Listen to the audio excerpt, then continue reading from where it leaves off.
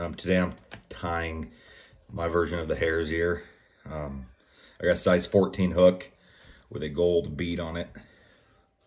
We're gonna start this out with a green, sorry focus that in, a green olive thread, okay? So I already got the, the bead on the hook. I'm gonna start right behind the head, come all the way back.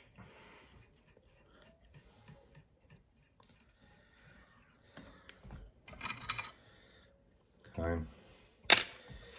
We're gonna take our pheasant tail. Got a light tan color.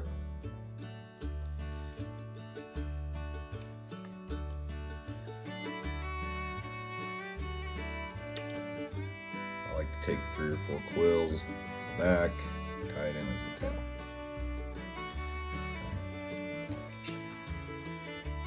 Clip off the excess. Finish tying it in.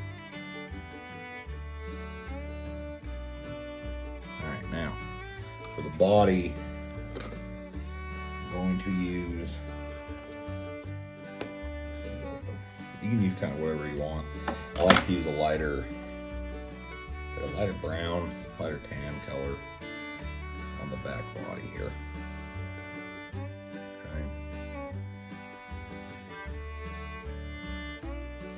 This is a non-weighted one. Um, if you want something a little more weight, you're fishing a little deeper waters, you can always throw a lead on underneath before you wrap this whole process. Okay, so we're gonna start right back at the tail.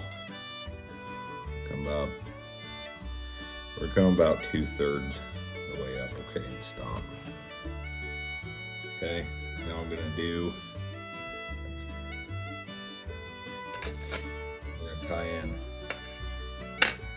we're gonna tie in that pheasant tail that we used off the remainder we had left from the tail. If you don't got any more, then just get a new piece, okay?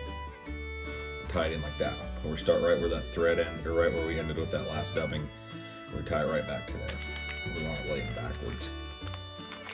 Okay, now for the thorax, I'm using this, okay?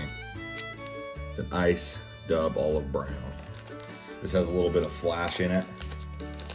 I like it. I, I think it. I think it throws a little bit more attention through the water than just using your gold brown. This has that little sparkly flash in it. This I'm gonna make rather big. Make this head part a little more proof to make it stand out. Okay. Get you them out in there, just like that. Okay. And when you're done with that, bring that pheasant tail over and tie it in at the top as your wing case. Okay, clip that off. Finish tying that in.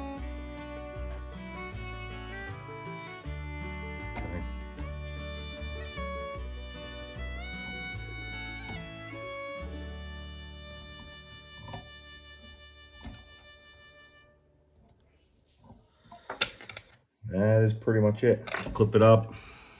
Um, you're gonna have some stragglers. I like to kind of rough out the bottom of this dubbing, make it look leggy. Got some legs coming off, and then just trim it to about where that bottom of that hook comes out. There you have it. That's the hare's ear I use. I use that everywhere between Weber, Logan, all up in Idaho when it catches fish. So there you go. Why don't you give it a try and tell me what you think.